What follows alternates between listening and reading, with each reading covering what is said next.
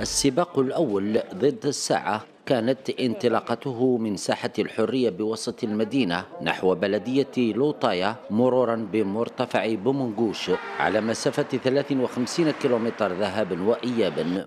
كانت يعني انطلاق الفرق آه، تواليا آه، مدة أربع دقائق بين فريق وفريق. الحمد لله السباق على وشك الانتهاء وراح يتم تتويج ثلاث دول فائزة. هنا كما تشاهدون في منصة التويج السباق انتهى بتتويج الفرق الثلاثة الأولى بميداليات حيث عادت الميدالية الذهبية للمجمع النفطي بينما عادت الفضية والبرونزية لنادي النصر الإماراتي وبنك الإسكان التونسي على التوالي.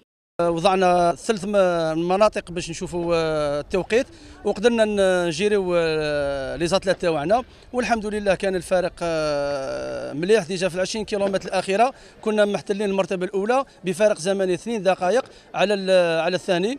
المجمع النفطي يراهن على انتزاع الميداليه الذهبية في الفرد ضد الساعة معولا على الدراج عز الدين العقاب الماهر في هذا النوع من المنافسة.